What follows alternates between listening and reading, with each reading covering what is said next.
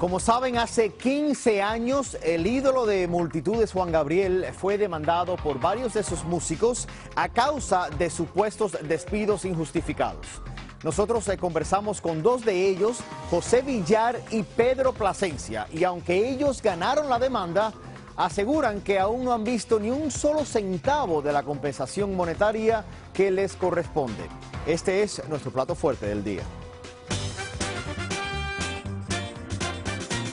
La vida le dio grandes momentos a Juan Gabriel, pero también enormes disgustos. Ante la ley, fue sumando tropezones con los que no siempre pudo lidiar, como el litigio interpuesto por sus músicos hace unos 15 años por presunto despido injustificado. La última vez que usted platicó con Juan Gabriel, ¿cuándo fue y qué le dijo? Pues ya hace 16, 17 años. Ya no supe nada de él, ni de mí, ni yo de él. Claro, por medio de la prensa sí, pero no, no, no, no nada porque pues él en su onda y se acabó. En el 2001 ya, nos, ya no continuamos dentro del show de Juan Gabriel, entraron músicos nuevos, músicos más jóvenes, porque nosotros pues ya estábamos betarrones, como se dice aquí en México.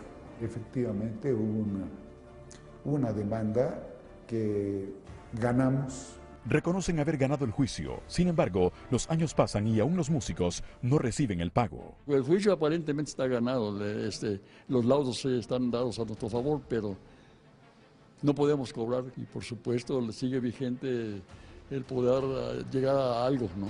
¿Usted está dispuesto a seguir eh, buscando este pago? No, pues sí, porque imagínate, son 20 años que y que te despidan, eso no, no, no, está muy correcto. ¿Sabe usted de cuánto asciende este pago que le tienen? Exactamente no, pero sí es bastante fuerte la, la, suma, sí. Porque mientras que no se pague sigue aumentando.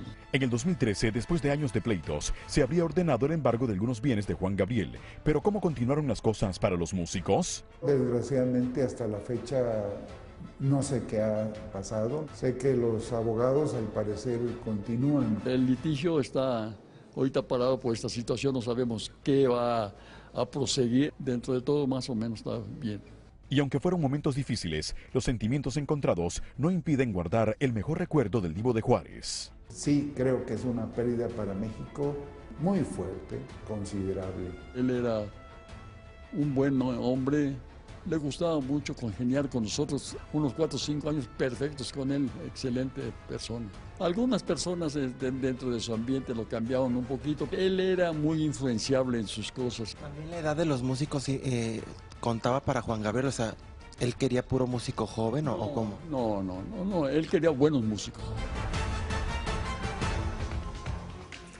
Y los tuvo mira, dicen que Juan Gabriel dejó todo listo, eh, que estaba preparado para su muerte. Incluso dicen que estaba preparando hasta su funeral y que dejó todo escrito en su testamento, que hasta por eso hizo su, serie de televisión. Sin embargo, dejó esto que no quedó eh, completamente liquidado y es este pleito que lleva ya más de 16 años. Estos siete músicos que trabajaron durante tantos años con Juan Gabriel, que pues la justicia les dio la razón. ¿Qué han tratado de hacer ellos? Han tratado de cobrar ese dinero, esos 3 millones de dólares que cada día se van haciendo más grandes a través de embargos de propiedades. La última vez, cuando trataron de embargar propiedades de Juan Gabriel, se dieron cuenta que eran realmente a nombre, estaban a nombre de, Iván, su hijo.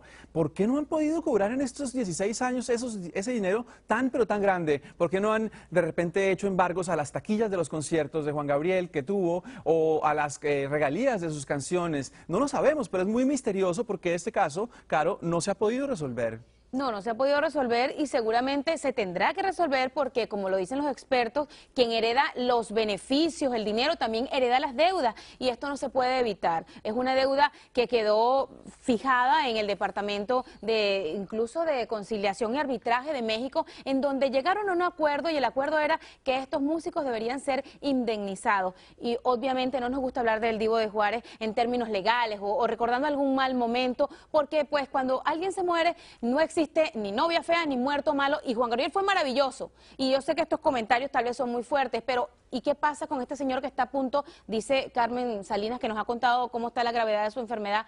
¿Qué va a pasar con ese dinero si este señor pierde todo este tiempo en que se lo dan y no se lo dan. Ojalá que se solucione todo por el bien de los que quedan aquí y por la memoria del gran Juan Gabriel. A pesar de que ellos en muchas ocasiones se han quejado y han hablado, han demostrado su molestia contra el Divo de Juárez, al mismo tiempo en este momento ahora dicen Bueno, la verdad es que el, tiempo que estuvimos trabajando con él fue una persona muy buena, era una persona muy bondadosa.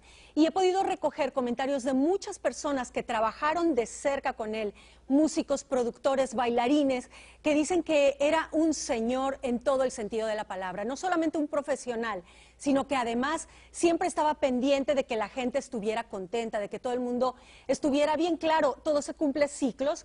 En el momento en que se cumplió el ciclo de, que estos músicos dejaran de trabajar con él, me parece que después de 20 años es que viene esta demanda en donde ellos exigen una indemnización. Carmen Salinas ha demostrado, también ha mostrado su, su molestia en cuanto a este tema.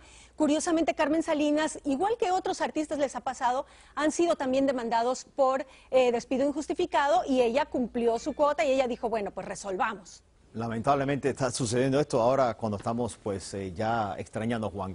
Le llamamos farándula porque famoseo suena medio turbio, ¿no? Las celebridades no esperan a nadie, así que ármate de valor y hazle clic a ese botón que abre las puertas a los A-listers, lo que se ponen, lo que se quitan y con quién. Todos los videos que te faltan ver, suscríbete a nuestro canal y cambia tu estatus a It's Complicated.